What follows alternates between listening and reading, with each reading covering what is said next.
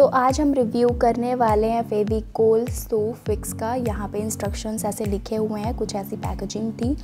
और ये देखिए, ये सैंडल ऐसे टूटा हुआ है। तो सबसे पहले वहाँ पे लिखा हुआ है कि आपको क्लीन कर लेना है सैंडल्स को। तो आप क्लीन करोगे और ये बीच में मैं ऐसे स्ट्रैप लगा रही हूँ। और ये फेविकोल को ऐसे बीच में डाल रही हूँ। उसके बाद से उसमें लिखा हुआ है कि आपको 10 टू 15 सेकेंड्स ऐसे प्रेस करके रखना है। उसके बाद से आप ड्रायर या तो धूप में सुखा सकते हो 10 से 15 मिनट के लिए।